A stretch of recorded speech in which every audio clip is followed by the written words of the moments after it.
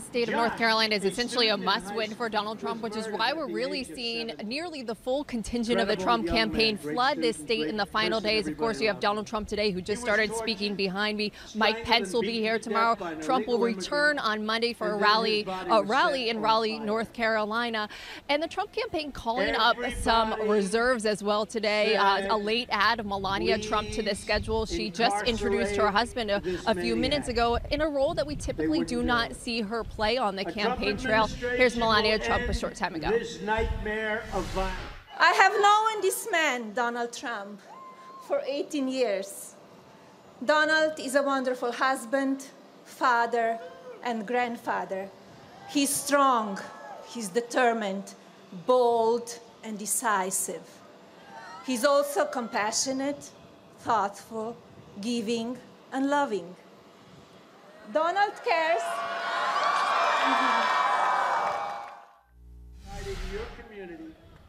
So a nice moment there for the Trumps. Now this is the second of, two, of four campaign rallies Trump will have over four battleground states today. He's off to Nevada and Colorado after this. And today here in North Carolina, this is the last day of in-person early voting. So certainly the Trump campaign trying to make a big push and make sure the people who are here at this rally actually go and actually translate their support here to a vote in the polls. From the moment Donald Trump took an escalator to announce his candidacy, campaign 2016 has escalated into laughs. From awkward air kissing to sniffing to coughing. Every time I think about Trump, I get allergic. The Donald's not allergic to kids. He actually signed one, but threatened to reassign a crying baby. Don't worry about that baby. I love babies. A minute later, Actually, I was only kidding. You can get the baby out of here. and then there was Mini Trump. Do you want to go back to them or do you want to stay with Donald Trump? Jump. A crowd pleasing answer till you realize Mini Trump parrots the last word he hears. What's your name? Name. And then there was the childlike delight in balloons. Hill and Bill batted and kicked them. It seemed like he'd seen balloons for the first time in his life. I mean, look at how delighted he is. The Donald seemed delighted with his own pronunciation. Nevada. Nobody says it the other way. It has to be Nevada. Actually, Donald, wrong. This is right. Nevada. At one rally, Hey, get this thing out of here, will you? Trump attacked his teleprompter. He publicly humiliated Like this stupid mic. his microphone. Stupid mic keeps popping. Remember when Hillary barked into her mic? And then this happened at a Trump rally. This is something you shouldn't do. What was that? Is that a dog? Uh oh. it's Hillary. When it comes to the insect vote, the Donald attracts mosquitoes. Ooh, there was a mosquito. I don't want mosquitoes around me. And Hillary appeals to flies. any way he chooses. If only time would fly so we can get relief from the constant buzzing of the candidates. I don't like mosquitoes. Jeanne Moos, CNN, New York. This is it. We have unfinished business to do. A glass ceiling to crack once and for all. Just two days left until an epic Election Day showdown. Can you believe it? Days away from the change you've been waiting for your entire life. This is history. From Beyonce and Jay Z to Barack and Michelle. They want to bamboozle you. Donald Trump is uniquely unqualified to be president. Clinton bringing in the big guns to try to motivate black and young voters. Will it work? And with Trump closing in on Clinton in key states, could he pull it off? No sidetracks, Donald. Nice and easy. The very latest on where the map stands right now. Plus, the best political minds will be here with insights from the campaign trail. A special edition of State of the Union with limited commercial interruptions starts now.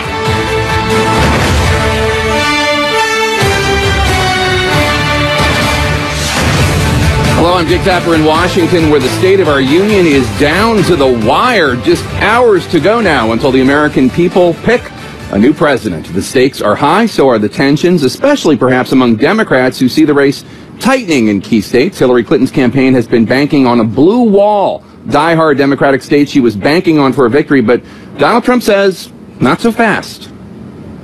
We're going into what they used to call Democrat strongholds, where we're now either tied or leading. We're going to Minnesota. We're going up to Minnesota, which traditionally has not been Republican at all. And we're doing phenomenally. We just saw a poll.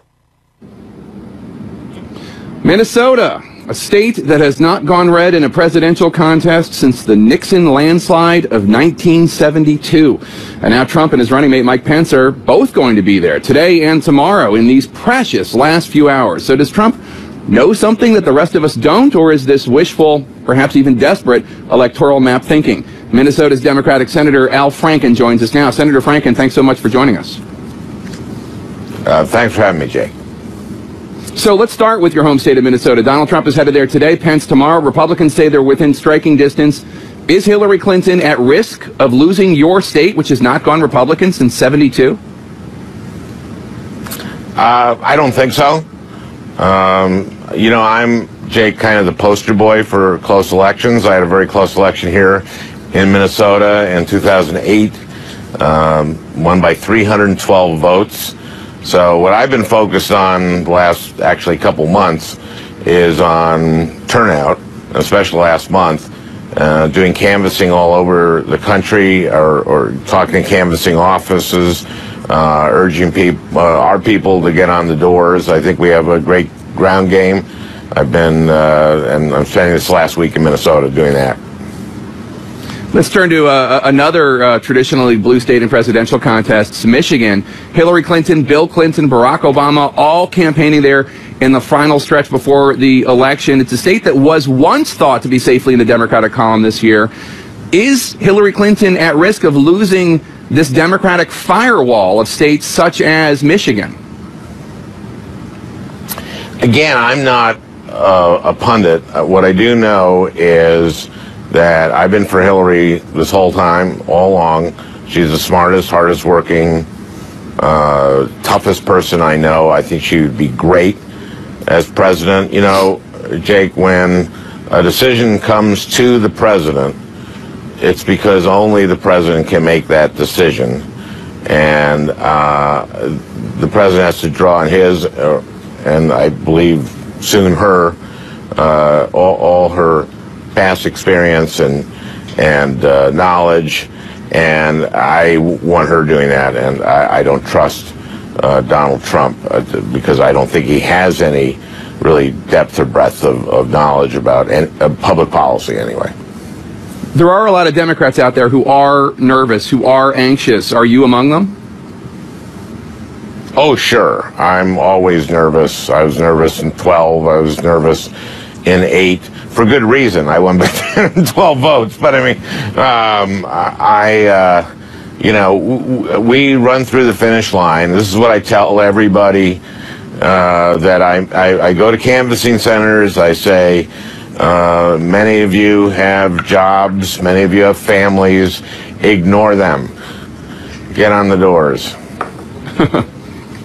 I want to ask you about this new two minute ad that the Trump campaign is going to be airing uh, it, bla- it um, blasts the Washington and global establishment. It uses images of Obama and Clinton, but, but some columnists have noted that there are three other individuals uh, in the ad George Soros, Janet Yellen, Lloyd Blankfein, the financier, the Fed chair, and the chair of Goldman Sachs. And people have pointed out all three of them happen to be Jewish. What was your take when you saw the ad? Well, when I saw the ad, I thought that this was uh, something of a German Shepherd whistle, uh, a dog whistle, uh, to sort of the uh, a certain group in the United States. I, I, think I'm Jewish, so maybe I'm I'm sensitive to it, but it clearly had sort of Elders of Zion kind of feel to it, international banking crisis uh, uh, plot or conspiracy rather, and and then a number of Jews. Uh, so uh, I, I think that um, that's it, it, does speak to a certain uh, part of his uh, alt-right base. The Bannon, I mean Bannon, who's head of Breitbart, is his is uh, chairman. Uh, they traffic in that. Uh, Trump has retweeted a lot of that sort of thing, and I think that it's it's a uh, an appeal to some of the worst elements in our country as a closing argument. And I think that people who aren't sensitive to that or don't know that history may not see that in that, but that's what I, I, immediately uh, saw. I want to ask you about um, this news uh, broken by Reuters that the Clinton Foundation confirmed that it did accept a $1 million gift from Qatar while Hillary Clinton was Secretary of State without informing the State Department, even though they had uh, made uh, that uh, as an assertion of rules that they would inform the State Department. Do you think going forward, if Hillary Clinton wins on Tuesday, does the Clinton Foundation need to be shut down, completely shut down, so as to eliminate any possible conflicts of interest or appearances of, of influence peddling? Well, I, I, don't know. I mean, uh, Qatar, we have a base in Qatar. Um, I mean, people should remember that. I mean, I've been uh, on a number of USO tours before I became senator uh, to uh, Iraq and Afghanistan, and I know that Qatar is very important in our our uh, uh, presence in the region. Uh, the Clinton Foundation has saved millions of lives. Um, I think that sometimes people should uh, compare the two foundations, the Trump Foundation and the Clinton Foundation, which got the HIV drugs to millions of people, versus the Trump Foundation, which doesn't seem to have done much of anything for anybody. I, I hear you, sir, but, but is it is it not? I mean, the idea that there is this foundation that is the, the, the Bill, Hillary, and Chelsea Clinton Foundation out there raising tens of millions of dollars um, while she is potentially president of the United States, doesn't that create a possible real problem for her that's not worth undermining her presidency? There are questions about when individuals, groups, Oh, sure, countries, sure. No, corporations I- give money. No, no, I take your point, and uh, you know maybe there's some way to uh, to continue the good work that the foundation does, and do it under uh, a completely uh, different, uh, you know, different people running it, so that there is no conflict of interest. I, I think that needs clearly to be looked at, and I'm sure that uh, I, I can't see them uh, not responding to that critique and uh, finding a way to completely divorce that from from her. That's a good idea, I think. Hillary Clinton was asked this week about FBI Director James Comey and whether she, if she wins, would ask him to resign. Take a listen. I'm not going to, you know, get ahead of myself by assuming I'll be fortunate enough to be elected. I also would never comment on any kind of, you know, personnel issue. As as a member of the Senate Judiciary Committee, do you have an opinion as to whether or not you have confidence in the prospect of FBI Director Comey moving forward, overseeing the email investigation and any possible inquiries into the Clinton Foundation? I think what's troubling, we've heard out of the FBI, I think it was troubling that he uh, put that vague letter out 11 days before the election. I think even more troubling is what we've heard from sort of the rogue elements within the FBI, seemingly uh, tipping off uh, former Mayor Giuliani that something was up. And also, I mean, they just seem like that's not the FBI. That's not what the FBI is supposed to do. It seems so. I, I'm on the Judiciary Committee. I'm sure we will have hearings. I'm sure that uh, uh, FBI uh, Director Comey will be before us, and I, I think he, he should answer questions about this, and he should be able to control the FBI. He's director of the FBI. He should be able to. Uh, what's been happening there uh, has been a little hinky, I think. But uh, as you know, So we'll- FBI we'll directors questions. Yeah, FBI directors uh, are basically appointed for 10, 10 year terms. He's served three. Right. Do you have confidence that he can he can continue in that job for the next seven years if Hillary Clinton wins? I I think we're going to have hearings. I think we're try, going to try to get to uh, the bottom of this sort of rogue element within the FBI that seems to think it's okay to go outside uh, the FBI to be uh, trying to affect the election. That seems to be responding to just scurrilous uh, right-wing books and uh, starting investigations based on on that kind of uh, you know the, that kind of propaganda that we've we've seen before. That that's disturbing, and if you're director of the FBI, you should be able to uh, prevent that from happening. That's part of being the leading an organization is to keep that organization on its mission, and this is so uh, apart and separate from anything they've ever done before that they're, they're very, very um, important questions to be asking Director Comey. So you're gonna you're calling for hearings uh, to, to to talk to Director Comey about these what you call rogue elements in the FBI. Yeah, uh, I think that there should be hearings, uh, and uh, and I, I I'm, I'm certain there will be hearings uh, in in the Judiciary Committee on, on this matter.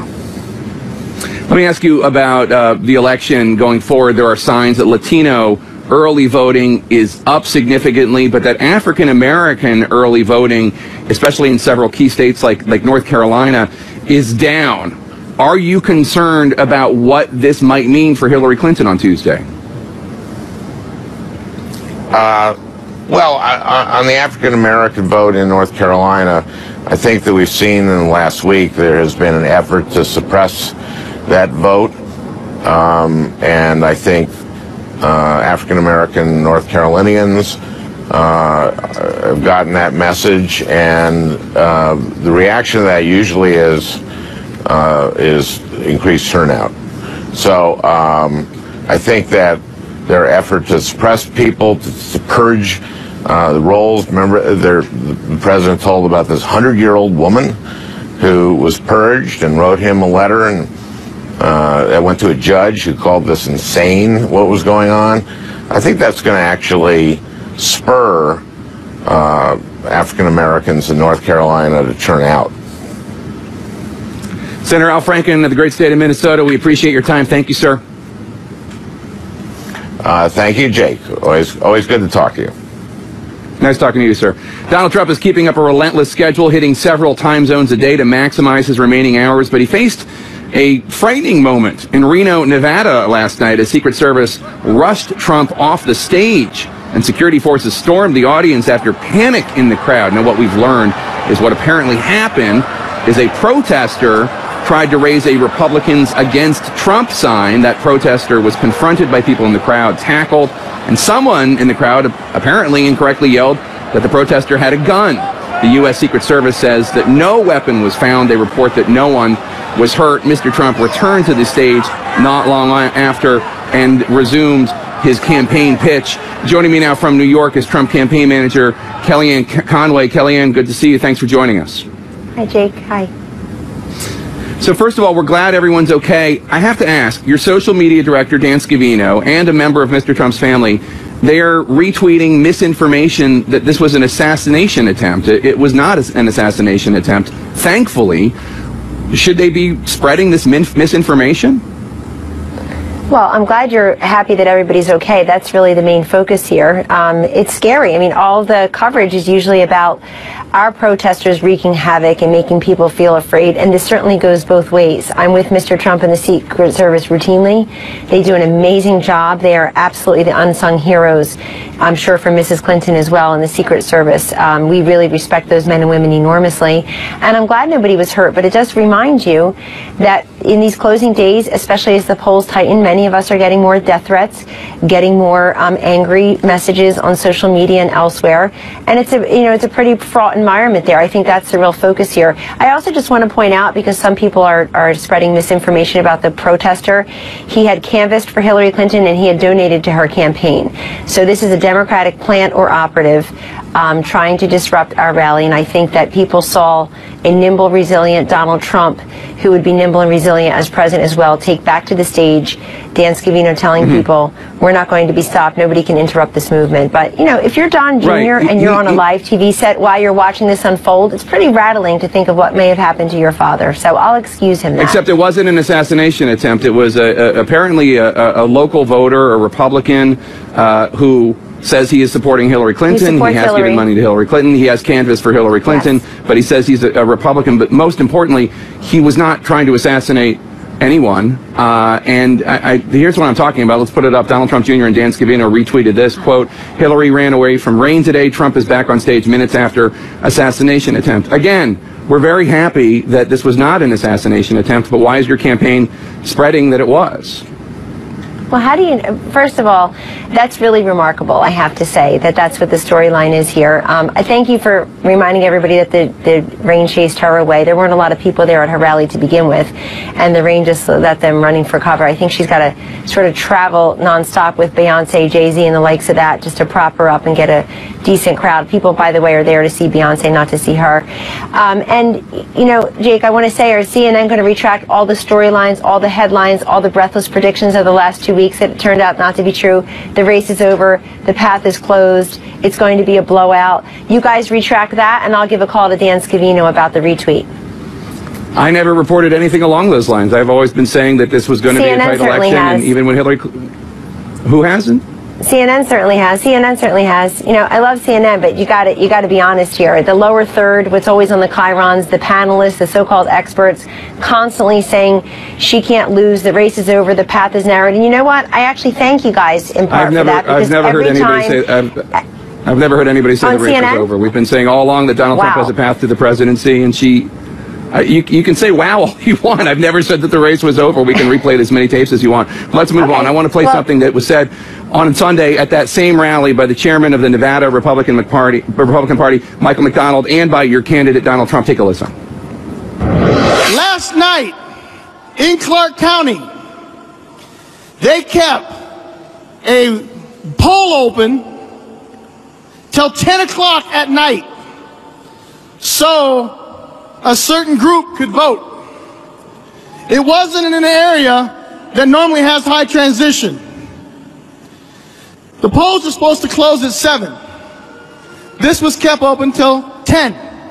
It's being reported that certain key Democratic polling locations in Clark County were kept open for hours and hours beyond closing time to bus and bring Democratic voters in. Folks, it's a rigged system. Uh, Kellyanne, a spokesperson for Clark County, Nevada, said that folks who were in line before the polls closed were allowed to stay in line and vote. I'm sure you know that that's a common practice throughout the country. Um, if a whole bunch of Trump voters are in line when the polls close in Ohio, should they not be allowed to vote, or would you want the polls closed uh, only after every single one of them in line at the closing time was allowed to vote?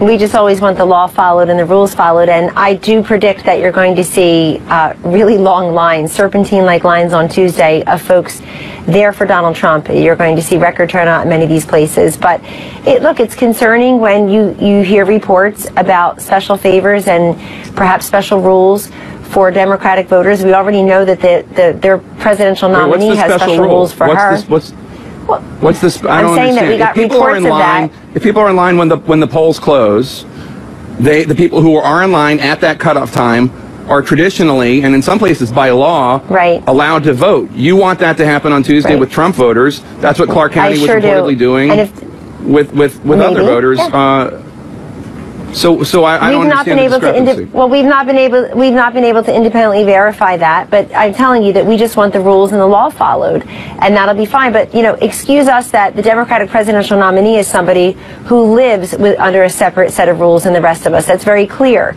She gets to set up private email servers and lie about it and flout the That's- law this is not and, and I'm- that's not compromise your kids about. and my kids national security. Well but that's what the voters are focused on too.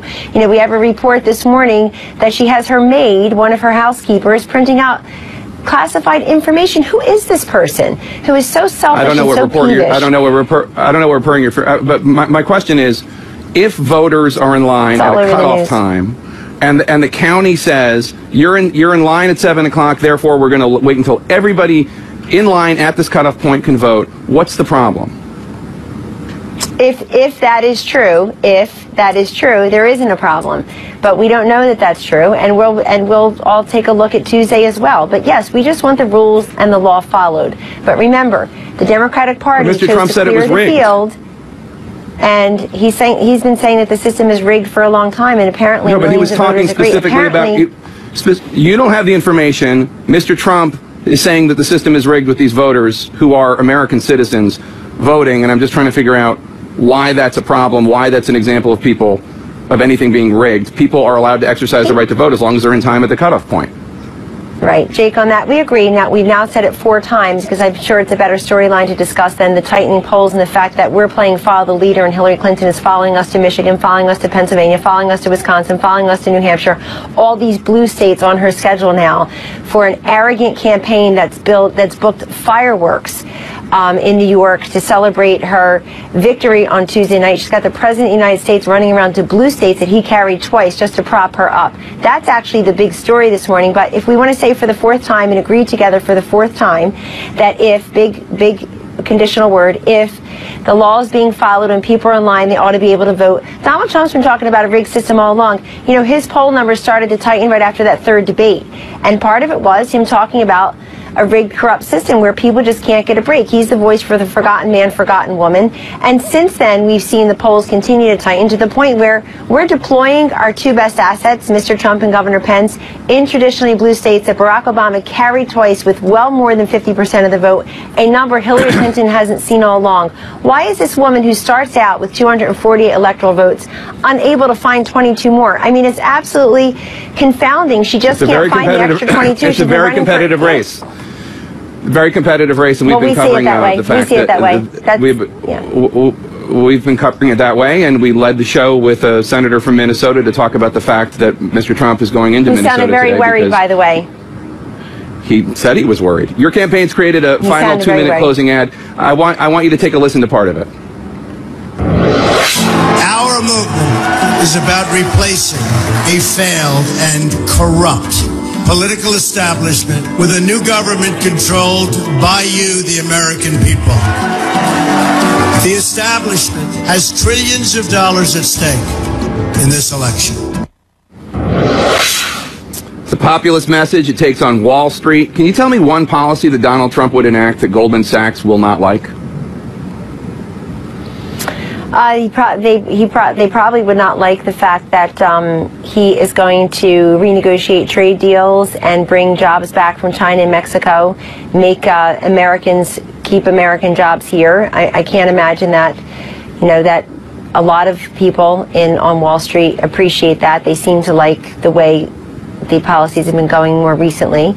Um, and Why and would look, Goldman the Sachs idea not? is Why that- would Go- Goldman Sachs not? Why would I mean Goldman Sachs? Why would why would they be against uh, uh, trade deals that benefit the American worker?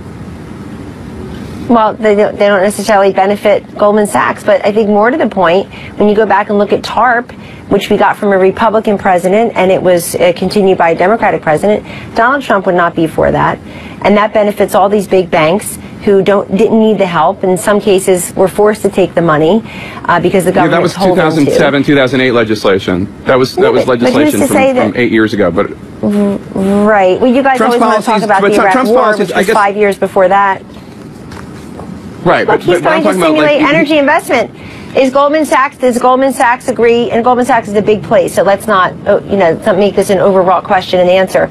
But does Goldman Sachs want the kind of energy independence that Donald Trump wants, so that we stop relying upon uh, foreign sources of oil and we start unleashing the energy that's off of our shores and under our feet right here in the U.S., spur economic growth within our communities, uh, do the hydraulic fract- fracturing that's unleashing the natural gas that we have right here. Uh, you know, are they? know. So there, there are many different. Well, well, there you go. Well, there's an answer. In other words, let's ask them. But the fact is, But Hillary that's not Clinton a- is a but tool that's a of the big Goldman banks Sachs that gave her. And I'll tell you one more thing he wouldn't do.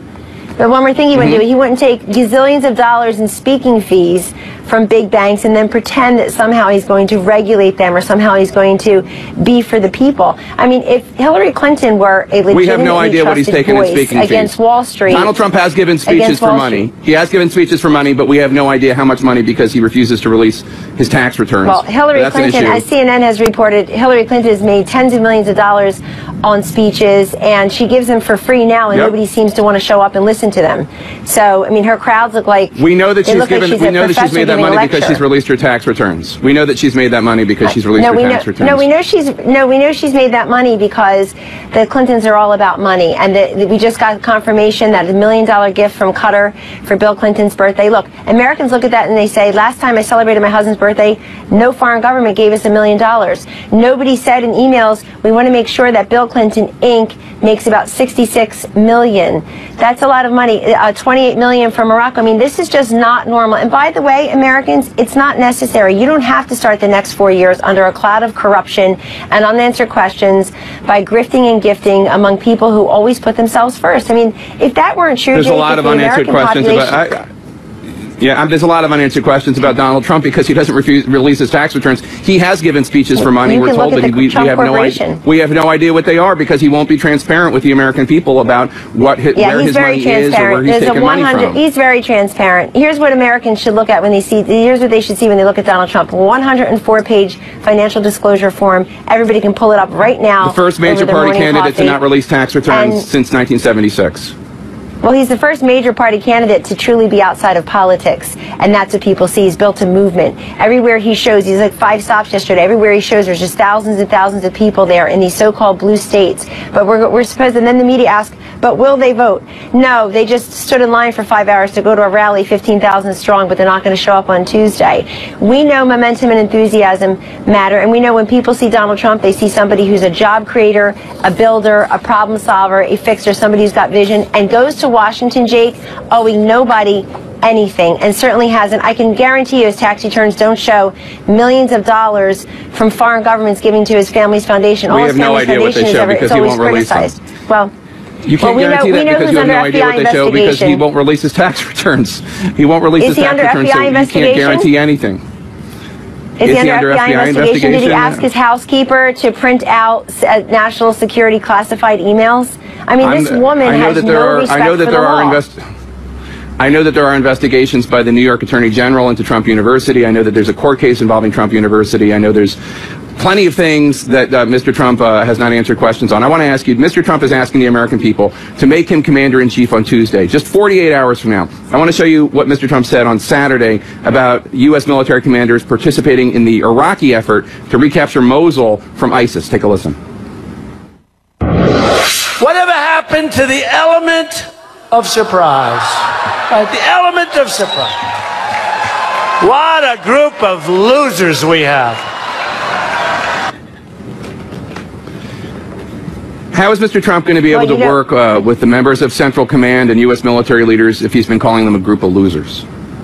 No, he's basically referring to the current commander in chief and his former secretary of state when he says that. He made that very clear in the debates as well. His problem is that you've got a commander in chief and you've got his former secretary of state who just happens to want to be the next commander in chief having an awful record according to Mosul, an awful record on the on the Syrian fake red lines, the Russian reset, the Middle East, um, Northern Africa several years ago with what was supposed to be a great Arab Spring. Uh, they own, you know, they own all these hot spots around the globe, and and people ought to know that. They ought to see not what people say, but what they've done. And in the case of Hillary Clinton and her former boss Barack Obama, that has not gone well, Jake. I don't think anybody can dispute that. If, if people thought their foreign policy and national security records were so great, he, she would be running away with this. She would say, "Look, I've been there. I was in the room. I made these tough decisions. I was I was Secretary of State. Therefore, I'm ready to be Commander in Chief. Why is she tied among vet? Why is he winning among veteran households, military households so handily? He's beating her by double digits because people don't trust her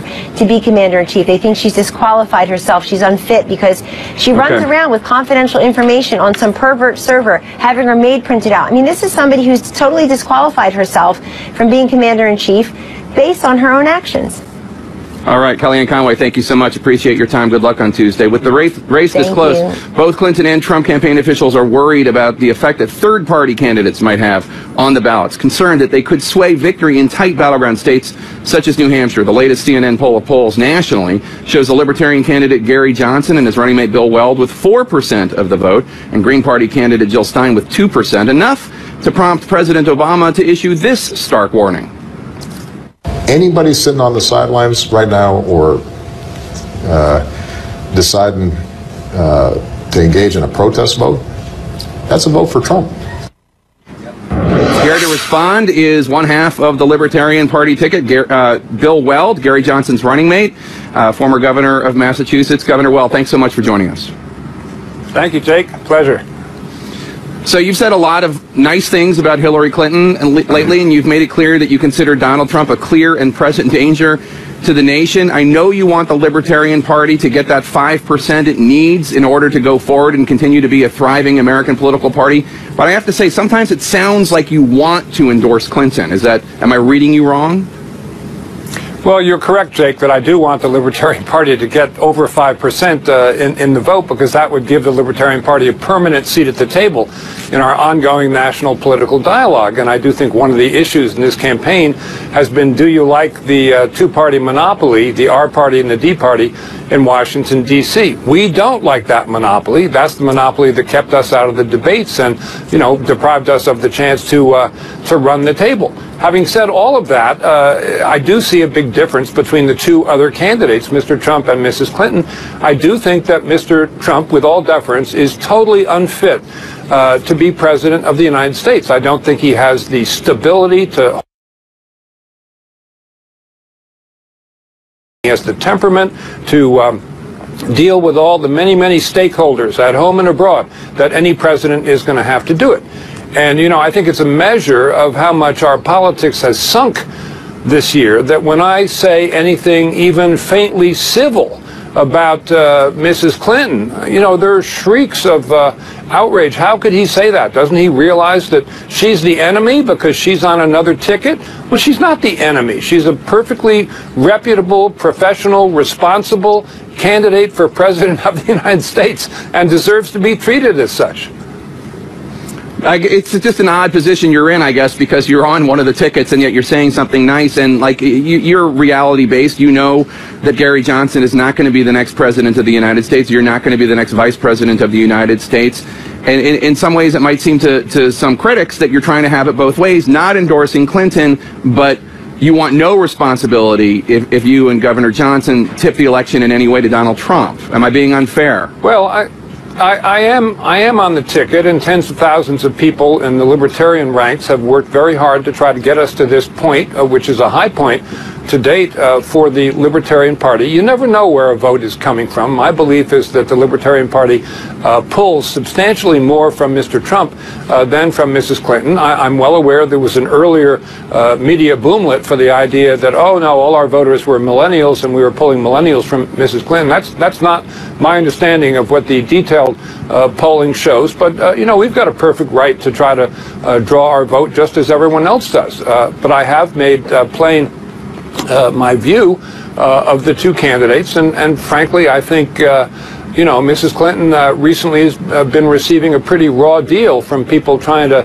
fan the flames that there's some huge uh, FBI new investigation of her email server. And, you know, there are obviously Republican members of Congress who are in that hunt. It does appear that there may be some disgruntled FBI agents who, who appear to think that somehow they've been cheated of their prey Uh, that's not how the system is supposed to work. And, and I think Jim Comey is a real good guy, real good reputation in the Justice Department uh, for a long time, but I do think he made a mistake sending that uh, letter to Congress, which is essentially the equivalent of a press release, uh, not quite saying we're reopening the investigation, because that was not done, but certainly fanning the flames and jumping into the middle of a presidential uh, election with 10 or 11 days to go. That's not what the FBI is supposed to be all about. And it was a, just a, a 180 degree violation of long-standing uh, practice and principles of the Justice Department. Well, Governor, are you saying that you think that the FBI director should step down or should resign? No, no, no, I'm not saying that. And, uh, you know, I think one thing that's happened, everyone is so anxious because this is such a, uh, a watershed election. It's a conscience uh, election. Everyone's going to remember who they voted for this year. I think the stakes are, are so high because the, the, the standing of the, of the two uh, major candidates is so so disparate. It'll be like, you know, everyone remembers where they were when they heard about 9-11. Everyone who is old enough remembers where they were when President Kennedy was shot. I think people are going to look back uh, on this uh, election and uh, really reflect on the vote that they took. And I, I, think it's a year when people have to think for themselves and cast, cast a vote of conscience. Let me ask you about the state of New Hampshire. You're from neighboring uh, Commonwealth of Massachusetts. Take a look at this poll from WBUR TV. It shows Trump 40%, Clinton 39%, Johnson Weld 10%. So you are having an impact on who might win that key battleground state in New Hampshire and those four crucial electoral votes. Are you comfortable with the fact that support for you might tip New Hampshire and thus the presidency to one of the candidates, and since you are not not comfortable with Donald Trump, what if it is tipping it towards Donald Trump? Well, that's in a way conjectural, uh, but the answer is yeah, I am comfortable with us uh, uh, pursuing uh, the best we can get as a libertarian ticket.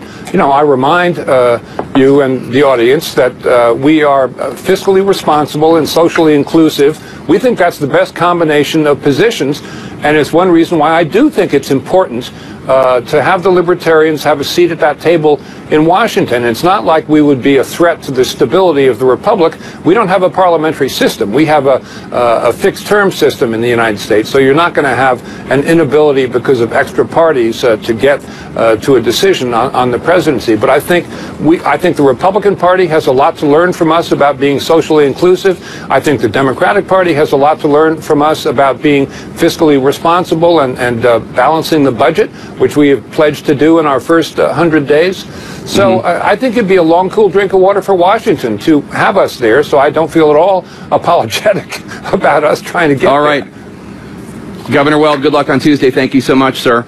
Donald Trump's last Thank bid, you, last minute bid for Minnesota, along with heavy campaigning in Michigan, has many Democrats taking a second look at their traditional blue wall of electoral votes, which is why President Bill Clinton is campaigning there today, followed by Hillary Clinton and Barack Obama tomorrow. So is the blue wall crumbling like blue cheese? CNN's David Chalian is at the magic wall with all the very latest. David?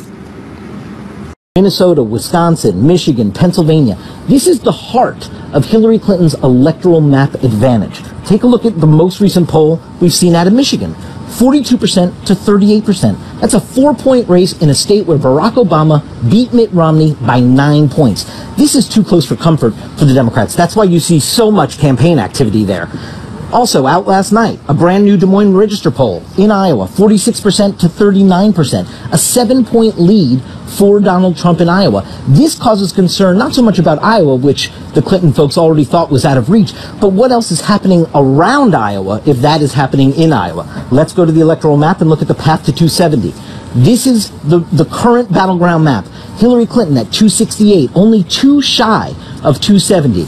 Where does she go to find it? Well, they feel pretty good about Nevada. They think the early vote there is really good. That gets her over to 274. But this is what's critical. If Donald Trump is able to dig into a place like Michigan, look at that. It drops Hillary Clinton down to 258. Where does she go to find the rest? She must get a big battleground prize like a Florida or a North Carolina. That would do it to get her back over over 270 but that is going to require some work. That is why you see Barack Obama, Hillary Clinton, Bill Clinton heading to Michigan in the final days. They need to keep fortifying that blue wall. Jake? So, just how worried should Democrats be? With me here, our panel CNN chief political correspondent Dana Bash, RNC communications director and chief strategist Sean Spicer, former Democratic governor of Michigan Jennifer Granholm, CNN political commentators Van Jones and Alice Stewart, and we're going to bring back CNN political director David Chalian. Governor, I'm starting with you. Start. What's going on in Michigan? Is Hillary Clinton going to be able to pull it out? It sounds like it's really tight. Barack uh, Obama's going there, so obviously they're nervous. I know it's awesome. It's awesome. I mean, usually Michigan is like you know, spin. no, it's, it's totally great. It's Everybody awesome. on the ground It's is so awesome that the president has to be deployed to Michigan. no, it's I agree. it's awesome. We, we love all of the attention. We really do. But here's what I would say is that a lot of what has not been covered is that Michigan has early absentee voting. And in that early absentee vote, Democrats have banked 50,000 absentee votes, meaning they're over what the Republicans have. In fact, the number of absentee votes that we are seeing right now is well over what it was in 2012 for Democrats. So we're feeling good about that bank. and um, we also know that, you know, election day is going to be key. So I, I would say one other thing that I think it's important to realize. Michigan's demographics are, are very interesting because you do have a large Arab American population and you do have a significant Latino population as well. So when you combine African American, Latino, uh, Arab American, and women and millennials, the millennial vote for the even in early is up. We're we're encouraged. Well, Sean, I, I wouldn't want to put my money in that bank. Well, let me- let me I'll tell you, you what's- what. what's going on about here? right now, I- man. okay, right now. Right now. Governor, since 1988, a Republican hasn't carried Michigan. The idea that you're deploying the President of the United States 48 hours from an election to go to Michigan says that that blue wall has cracked big time. Iowa hasn't been carried, was carried twice by Obama. Seven point lead according to the Des Moines Register. But, state Trump after is state. not ahead in Michigan. Trump has not been ahead in then Michigan. why in then you're any wasting the. President of the United States' time then? Tell him to go somewhere else. Dana, why is the president going to Michigan? because Maybe because Democrats shocking. in Michigan who are not on television when they don't have to to be, with all due respect, uh, to be very Positive. positive. Are saying, and I've talked to some yesterday, that they're very worried. That they're very worried because it is narrow and they don't want to take any chances. Well, that's, that's for sure. You don't want to take any Speaking of- chances. Speaking of awesome, to the governor's point, what's really awesome is two weeks ago, Hillary Clinton was leading in Michigan by 13 points. Slowly, it's gone from eight to six to five. Now she's only four points ahead in a state where Democrats have won that since 1988. And speaking of on the air, Hillary's putting $2 million on the air in Michigan. And that, in addition to President Obama being there, they're worried. What's going on? Beds are damp. People are wetting their beds. You're saying Democrats are wetting their In general. And- and- hey, but look- that's a four-point lead. and- That's and- too. That's and within the listen, margin of error. That's and- scary and for I'll- Democrats. Absolutely, and I'll tell you why. There is a crack in the blue wall, and it has to do with trade. This is this is the ghost of Bernie Sanders. There is there is a discontent with some Democratic voters over trade, and some blame Hillary Clinton, and so you've got to go back there and, and, and shore back up. But here's the reality. There is a, a clear case to be made, and is being made by Democrats to come, to stay home, come here. Listen, you don't like where the bus is going. You don't let a drunk guy drive the bus to, to solve the problem. But, but listen, we, there's no point pretending that there, there's not some, some, some, some concern here. And, and David, let me just let me just let me just say, it makes sense that if there is concern that white working class voters who are supporting Trump overwhelmingly in Iowa and Ohio, two states where Donald Trump is favored, are really surging and really showing him strong support. Why wouldn't they show up in Michigan? That's right. And I also think this speaks, and Sean probably can speak more to this than anybody else at the table here, but to the power of big data right now. Because what is happening is, and this is both sides, right? I mean, Robbie Mook said Michigan is tightening. He sees it. Uh, Robbie Mook, the Clinton campaign. The Clinton campaign manager. The Republicans have absolutely, on the Trump data side, also seen Michigan as a target closing at the end. And what you can do when you have all this data coming in, make these last minute decisions. That's why in the final week, Bill Clinton twice, Hillary Clinton twice, Barack Obama once, that kind of firepower would not be sent to Michigan unless everybody was seeing Carolina, signs. wait, wait, there's, and there's no question that the polls have been tightening. I don't want to be, you know, completely Pollyanna about it, but I would say to your point, Van, in that very poll that you described, where she's four points up, she gets better marks on trade than he does by four points because people have seen what she has said. Bernie Sanders has been there campaigning for her, and she really has been very clear about wanting to renegotiate that. While we're talking about while we're talking about Bernie Sanders, I want to bring in this uh, this uh, uh, this tape of a student introducing Bernie Sanders. I believe it was in in Iowa uh, uh, on November 5th, uh, and he actually has to be escorted off the stage by Clinton's Iowa communications director. Take a look. She is so trapped in the world of the elite that she has completely lost grip of what it's like to be an average person. She doesn't care. Voting for another lesser of two elites, there's no point. Oops. Got the millennial vote all locked up, huh? Listen, um, that wasn't good. awesome. That wasn't good, and you can't spin that. But here's but here's the reality. Um, you do have a bunch of young folks who still have heartburn and they have rug burn from the from the primary. And I think there was a view that I think was a mistaken view that the uh, young Sanders voters would act in 2016 the same way that Hillary Clinton's voters acted in 2008. They would come home easily. And in fact, that has not turned out to be the case. And yet, what you're seeing now is a millennial surge. When you look at Funny or Die, when you look at all the, the pop icons that are coming out, it's actually starting now to be cool to be for Hillary Clinton. And that's going to make a big difference on Look, Tuesday. I think that this election needs to be kept in perspective. Two months ago, it was going to be electoral disaster for Republicans. We weren't going to keep the Senate. We potentially could lose the House. Now we are going to keep the Senate unequivocally. I feel very good about that. But look at, look at, listen, hold on. But look at what the states that we're competing in. I don't know. Every single one of them is said- one that Barack Obama won twice. Florida, Ohio, North Carolina, yes, Romney got that one. But Iowa, New Hampshire, Nevada, Pennsylvania, Michigan, Wisconsin, we have opened and widened this map like never before. So it's not just Michigan, it's North Carolina, and it's where they're putting their time and their money. They recognize that we have widened the map. They are on defense. Robbie Mook should put the fireworks away because I think it's going to be a late night, and I think that the momentum in every single one of those states, bar none, is with Donald Trump and the Republicans. First of all, the, the Senate, that was a, a pretty uh, bold prediction. We'll see if that happens. But 24, but, but, 36. but, but Simon, I would this is say it's wanna say. equivocal. This is, Let's this just say it's an equivocal. This is what I want to say, though. On on your point, uh, North Carolina, perfect example. I did a story on the millennial vote in North Carolina recently, and there was no question. Actually did surprise me how much re- re- remaining opposition there was to Hillary Clinton, and it was actually, frankly, people repeating back words of Bernie Sanders saying. When people tell you how to vote, don't listen to them. And I said, but it's Bernie Sanders now telling you that? It doesn't matter. I wanna say one so, thing. so it, so it is residual. And I do think it's kind of, as we get in these final hours, the fact that Donald Trump's base is coming home and his people are coming home and Hillary Clinton's having more Let me ask you, problems. a quick- Van, before you say that, President Obama was in Fayetteville, North Carolina.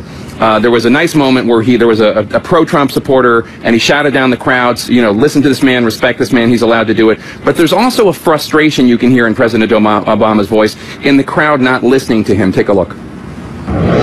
Hey, everybody! Everybody! Hey! Hey! Listen up! Hey! I told you to be focused, and you're not focused right now. Listen to what I'm saying. He's not just talking about that protester there, is he, Van? Oh, he's not, but let me just say two things about that. That was so amazing.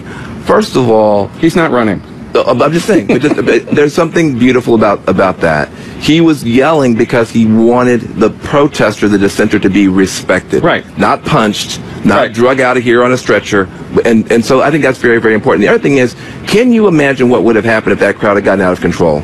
With the President of the United States standing right there, if something bad had happened. And so there's a desperation there, I think, also to make sure that nothing bad happened um, on his watch. I think with regard to that, I think the way he handled that was was very respectful, uh, pointing out the fact this was an elderly man, he was a veteran, And a veteran. we need to show respect. I thought that was uh, very good. But clearly, he's uh, frustrated with the fact he doesn't have control. And and in addition to that, this week, many of the speeches and interviews he's been giving is reminding folks, millennials and all, and all, if you vote for Donald Trump, you're basically handing away my legacy. Everything that I have accomplished and done as president, he has vowed to take away. So he is not really being able to pr- promote and tout Hillary's favorables, but tout and, and criticize Donald Trump because he is going to lose his legacy. And that's really his message. There is frustration among Democrats, and it seems from President Obama that African American turnout is not where it was for him in 2012 and 2008. That it's that it's it's lagging. Which- I mean, I, to Van's point, I don't think uh, the Clinton campaign was ever, ever counting on African American turnout turnout to be at the levels it was uh, for the first African American president. Uh, and in fact, I think what you're seeing is, uh, I think we need to see what happens on Tuesday. The Latino vote may end up being a critical part of the storyline on Tuesday night. Uh, if it if it really does increase as it's over, uh, Latinos make up a much bigger share of the pie than they did four years ago, and it's one of Hillary Clinton's strongest groups in that Obama coalition. That may make up for a dip in the African American So, vote. so I just want to come back at you on the, the lack of enthusiasm. Just take two states. I mean, North Carolina, you all have been reporting that the African American vote was down. Why, is, why was it down initially? Was because of voter suppression, that they closed down 17 counties, closed down sites, shortened hours. There was this purging of African, largely African American votes. Now, though, over the weekend, they have seen an incredible spike. And so in 2012, Barack Obama got 23% of the African American early vote. And here, now, it's 20, this is before all of the numbers are in from yesterday, it's 22.3% in North Carolina. In Florida, the numbers are up. You guys have been reporting that the numbers were down since 2008, but since 2012, the African American numbers are up 22%. Hold on. So, but, but, like, okay, so you brought up. so I'm just saying, and Let's keep it in and and perspective. Latino. Let me just finish my point on the Latino vote in Florida up 120 percent. So, bottom line is that new America is really showing up for Hillary Unfortunately, Clinton. Sean, Sean, uh, unfortunately, Oh, I, am good so job, sorry. Jen. governor, mission accomplished for the governor. Can we predict who will win the White House based on who wins the World Series? What the Cubs win might mean for election night. That's next. Cubs are gonna win today. Go Cubs, go! State of the Union is brought to you by the Peter G. Peterson Foundation.